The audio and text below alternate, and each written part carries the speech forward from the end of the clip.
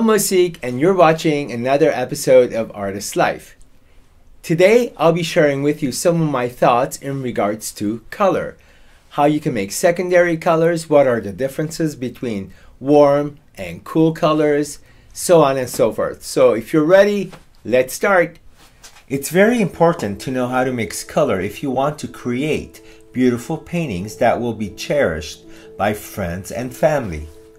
Yes, it's true that you can always buy a tube for every color that you wish to use, but seriously, who would want to spend all that money if there was an easier way? So let's start by knowing our three primary colors red, blue, and yellow. All secondary colors can be made from these colors. Secondary colors are orange, purple, and green. Mix red and yellow for orange, red and blue for purple, then yellow and blue for green. Well, as you can see, this is my 8x10 canvas panel and I went ahead and uh, painted the canvas with acrylic blue and also um, I did the drawing on top of it. So the drawing, as you could see uh, on the left side of the screen, it's a lemon and a red pepper. And here I'm using cadmium red, cadmium yellow, and ultramarine blue. Now, just to talk about these different colors on the color wheel, these two colors here, cadmium red and cadmium yellow, are considered to be warm colors. Ultramarine blue is considered to be a cooler blue because it's closer to purple. And also I'm using ivory black and titanium white. So this is my color palette and from these three colors I will be uh, making my secondary colors and also I will be desaturating my colors which I have not talked about in this um, in this episode but desaturating means to gray down to make the color less bright than what it actually is. So I did talk about um, cools and warm colors. Um, just a few minutes ago. And when you look at the pepper on your left side, uh, this pepper, the color of the pepper is is cooler than than than the color that I'm going to be using. So so I guess I am a little limited with the with the colors. So I will try to do my best with with my limitation here. Uh, I am going to start with the lemon. So if you notice, you have a highlight on the lemon, you have your dark tones, and then eventually the shadow. So I would like to start with my light tones. So I am taking cadmium yellow with my titanium white.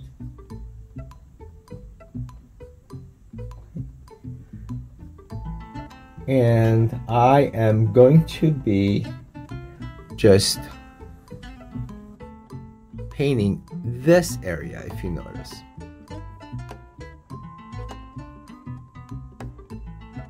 Okay, so keep in mind that I am pulling my paint on the canvas so there's no uh, pushing going on. I guess the difference between pulling and pushing, if you notice the way I'm holding the brush, it's uh, constantly this motion versus this motion here.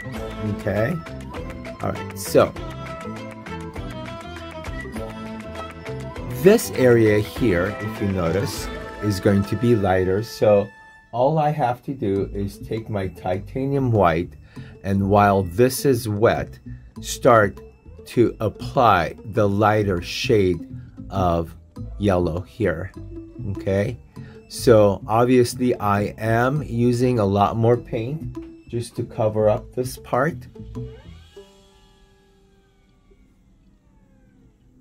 Okay and when I pull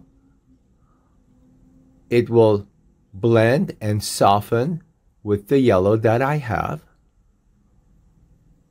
meaning this area here.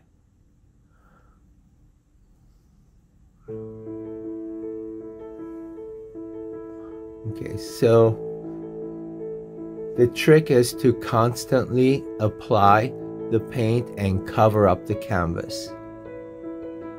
Just like that. Now I am focusing on my shapes, even when I apply my darks and my lights. Okay, so the complement of yellow is uh, purple. So if you look here, I will be using purple. So I have cadmium red right there and the ultramarine blue right here okay like this. And if I get this a little too dark obviously what I can do is add more cadmium red. Okay so here's my purple. Wipe my brush. Now I don't need a lot here. Just whatever was in my brush. So if you notice this dark tone that I got resembles gray okay. And I am going to take that color and start applying that right here. All right so let's continue. Here.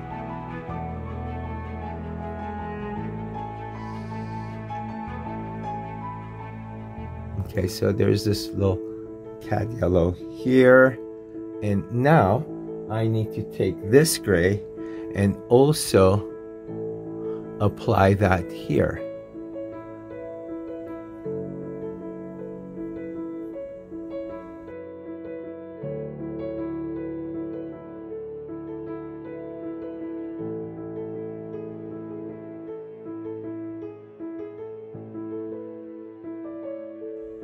Okay, so here I have my light tone. That's where the lights hitting the lemon and then everything else is the color of the lemon. So if you do this correctly, you will have a painting that looks three-dimensional right away. Okay? So, I don't necessarily need to finish painting this lemon completely to um, to move on to the pepper. I can move on to the pepper right now but there's one more thing I will need to do. And by the way, um, I can leave this, let it dry just a little bit, and then come back and do some refinements to this. Okay, so I am ready to start with my pepper. Now, um, if you notice the color of the pepper, um, it's a cooler red than obviously the red that I'm using. The red that I'm using is cadmium red. So on the color wheel, uh, that is a warmer red than what the pepper is. So we are going to stay with the cad red. I don't want to introduce alizarin at this point because once again, the purpose of this painting is to limit ourselves with just the warm colors that we have, exception of ultramarine blue, which is, uh, in this case, cooler so let's start. Before I do anything, I just want to quickly outline this, my drawing, so that you can see my drawing. So it'll be more visible to you. Okay, now um, noticing that the dark tone um, is on the right side of the pepper, what I would like to do is take my cadmium red and just start applying my reds. Okay, so again, this red that I'm using is quite bright and also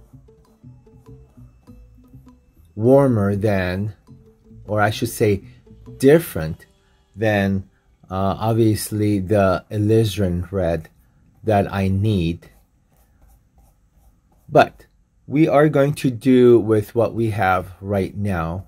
And let's see if we can improve the color of this. What would happen if I were to take ultramarine blue along with my cad red so obviously this is what I'm looking at here and use that color. Okay so this is dark. Now again I was using ultramarine blue with my cad red.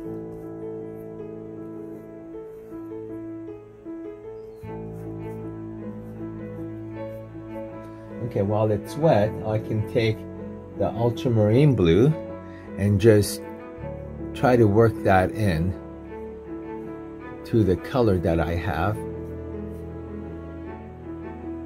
It feels weird being limited uh, with the colors but it's not an impossibility to create a interesting uh, painting. So and that is what I'm experiencing here um, because I don't have all the necessary colors on the color wheel, uh, like alizarin, Prussian, phthalo.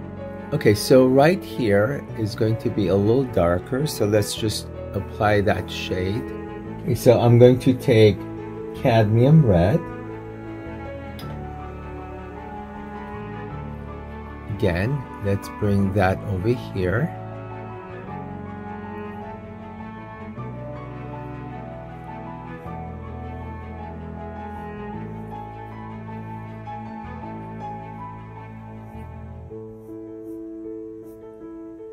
And right here.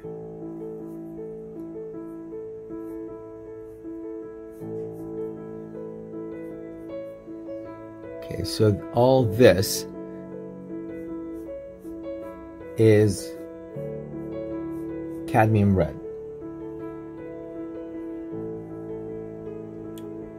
And let's not forget this top area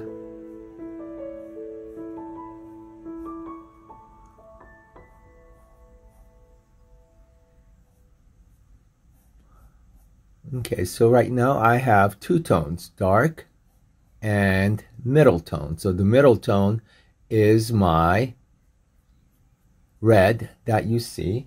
I can always take the white and use this color. You notice I'm taking cad red, white. I can use this color to start creating these lighter shades. So right here would probably be a little lighter. So I'll just start with where the highlight is.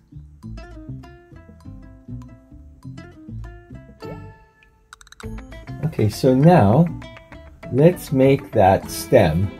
So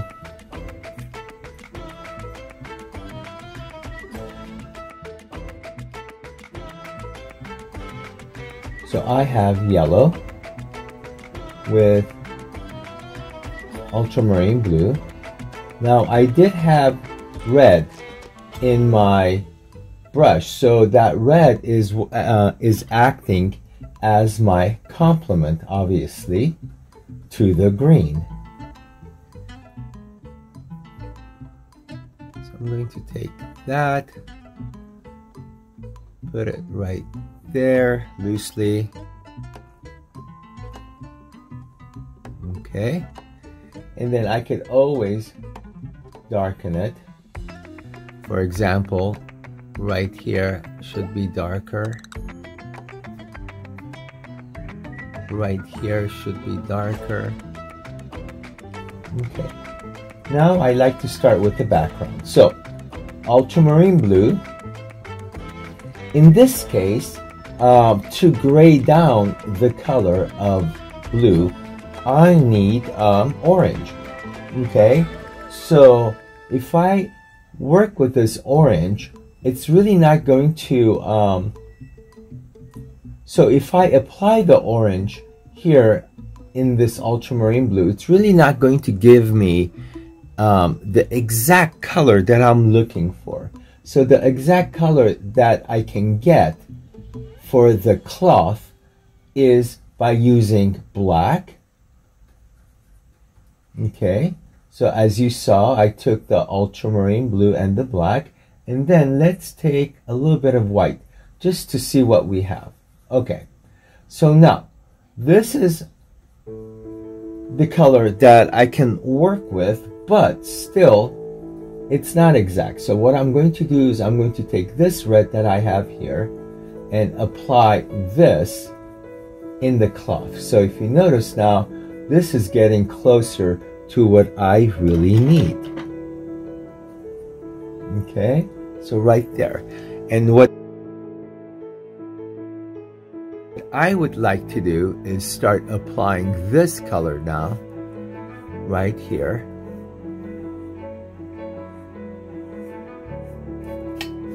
Okay.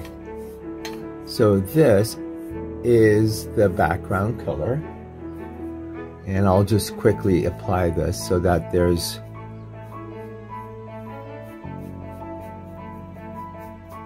so that we can see what we have in front of us. Okay, so let's just do that. And then this is where the shadow is going to be, obviously. So let's just put that color. Alright, so here.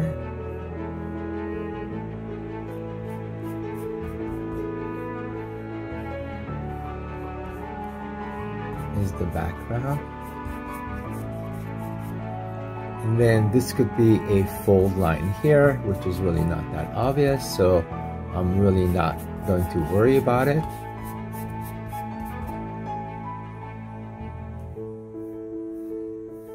Right here. Apply this. Get rid of the brightness of the blue.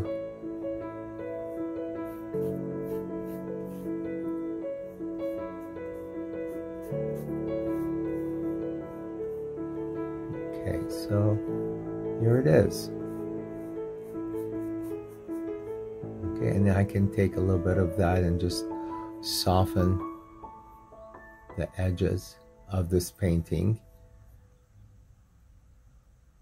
Soften the edges of the red bell pepper. Okay, and I can take a little bit of that red and just work it into my blue. That would be okay.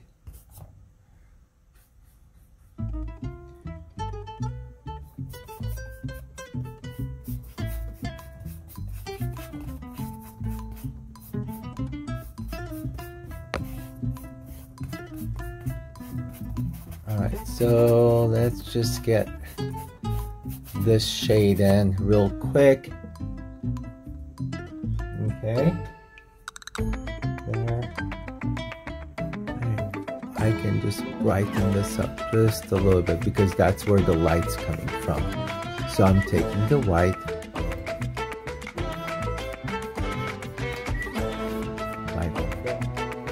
Okay, so before I start working on the shadow, there's um, a few more things that I like to do to the bell pepper. And one is to apply my highlight.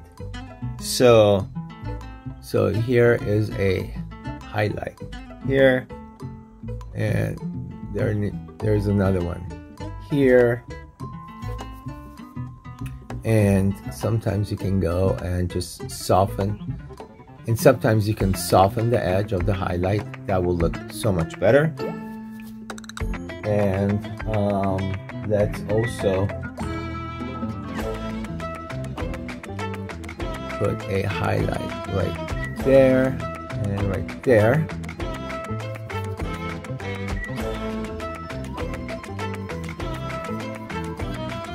Now shadow time. But before I do shadow, there's this little corner right here.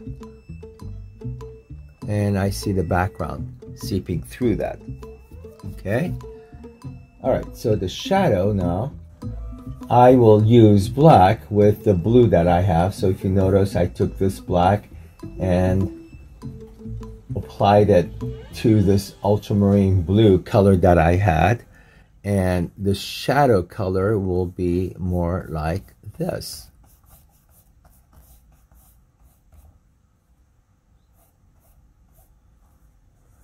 Right there. Maybe we can take a little bit more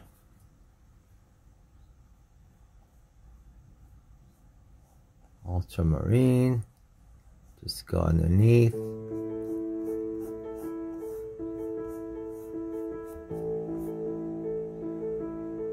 Okay, so right here.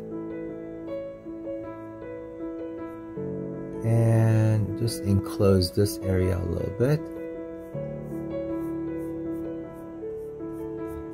Okay, and now I want to give the shadow a little bit of a shape, okay? So right here is a little lighter. And if you notice, shadows usually, where they start from, um, it's, it's usually harder edged, like about right there. So I like to do that and maybe lighten it just a little bit and also right here as well just lighten this area and create this hard edge right there where the shadow starts from and just go back and soften. Right there. And when you soften you're cross hatching about right there. So I'm making this orange color with blue in it as my complement. And then it gives me this gray shade of color and I like to take that and just apply it on top just about right there okay and that will help this lemon to have more of a 3D uh, ness than it does right now. Okay, so right there, just add some warmth here. And down here, I want to soften this area now. And then I'll come back and put that hard edge back in. It's really important to keep your edges soft. And right there is the darkest dark.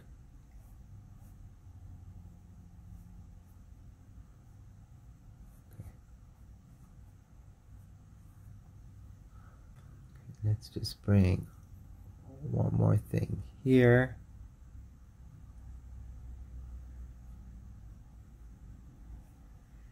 There.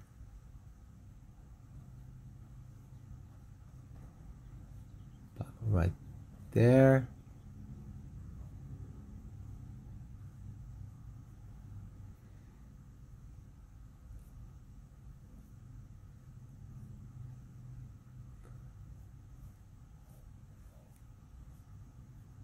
And here. Well, as you can see, I'm almost done. And I just want to work on the background. So I'm taking ultramarine blue with a little bit of black and also cadmium red. So I'm creating a warmer foreground right there where the light's coming from. So if I were to lighten this foreground, it'll look so much better because of perspective. And if I want to get my titanium white, just go ahead and work that in right there. Okay. Now also, this area is a little bit light. So let's just go ahead and paint this bottom area and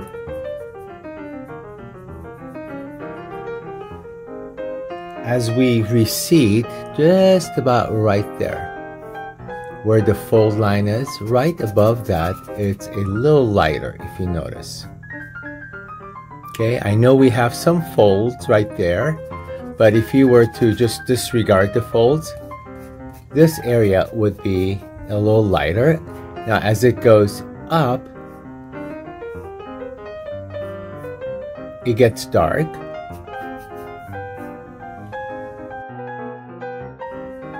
So the foreground right there, it's light.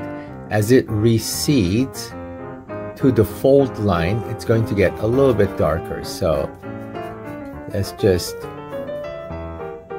make that very subtle if you notice. Let's make this area a little light so it'll look like it's further back because that's what it is, it's further back. So I hope you're enjoying this uh, little tutorial on color. Again, we covered our warm colors except for blue. Um, blue is considered, this ultramarine blue, I should say, is considered uh, to be a warm color. So, but other than that, um, if you were to use your warm colors, this is what you'll get.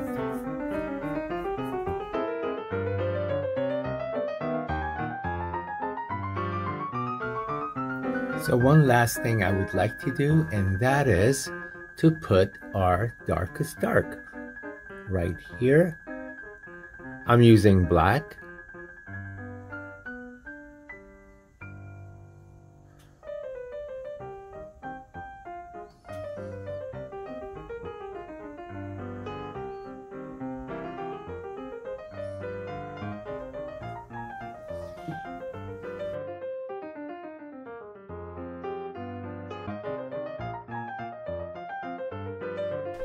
Well, thank you once again for watching this episode of Artist Life. If you enjoyed today's episode, go ahead and subscribe and turn on the notification since we have a lot more color videos coming up. So until next time, happy painting. Bye.